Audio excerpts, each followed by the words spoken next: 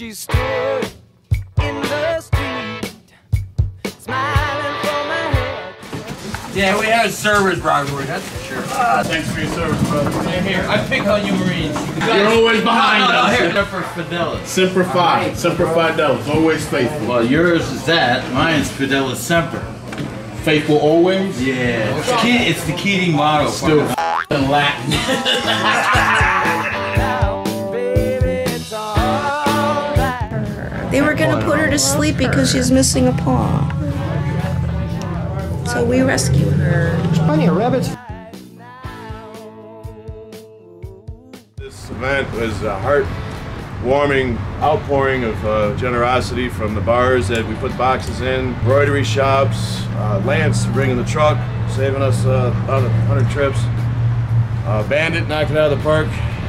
Good job, brother. Thank you. Everybody did a great job. So we're gonna do this on a regular thing, make it a yearly annual event, and come have dinner with these boys. But I want to thank everybody for all the hard work.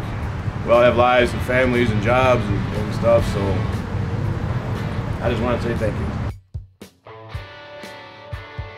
And show these vets we still care about them. Nobody's forgotten about them. Cool?